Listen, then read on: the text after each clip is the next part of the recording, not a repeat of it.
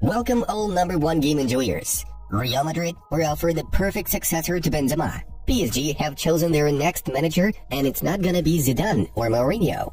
While Barcelona are preparing a big surprise for Messi. Press the like button, subscribe, and let's get the show on the pitch. Real Madrid were offered to buy Harry from Tottenham Hotspur in the summer transfer window, Cadena Ser reports. The 29-year-old striker's agreement with Spurs expires in the summer of 2024, and this is probably the last opportunity for the Lily Whites to make money on their leader, so as not to risk losing him on a free transfer basis. Tottenham bosses came to think that it's better to sell Kane outside of England and not to some direct Premier League competitor. Therefore, Kane's departure to Real Madrid would totally suit the president of the London club, Daniel Levy. Let us remind you of Los Blancos' desperate need for a new attacker, because Karim Benzema is already 35 years old He's getting injured more and more often, and thus missing important fixtures. Former Barcelona and Spain manager Luis Enrique could replace Christophe Galtier at the helm of PSG.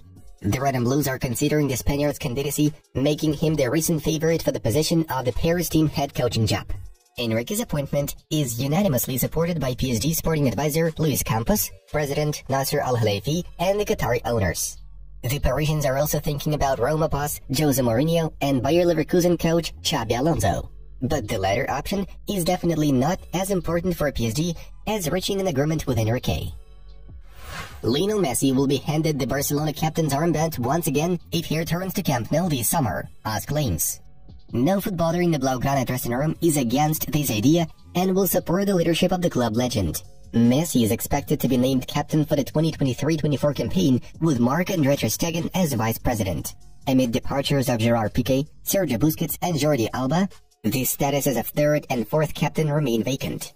Robert Lewandowski and Ronald Araujo are likely to take on those roles, the source adds.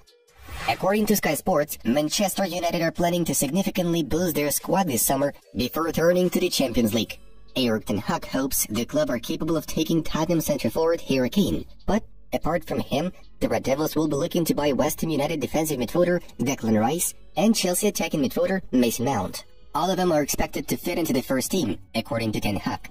Rice and Mount are both open to leaving their current clubs, though United will need to win competition against other EPL Goliaths. Rice is claimed by Arsenal, while Mount is needed at Liverpool.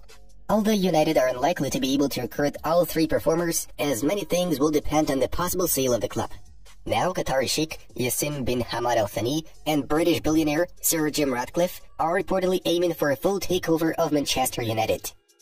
Bayern Munich are in high alert for the possible loss of Alphonso Davies. If the Canadian, followed by Manchester City and Real Madrid, decides to quit Munich this summer or the summer of next year, the Bavarians will need an equally strong replacement on the left wing of the defense which is why they have turned their attention to AC Milan left back Theo Hernandez.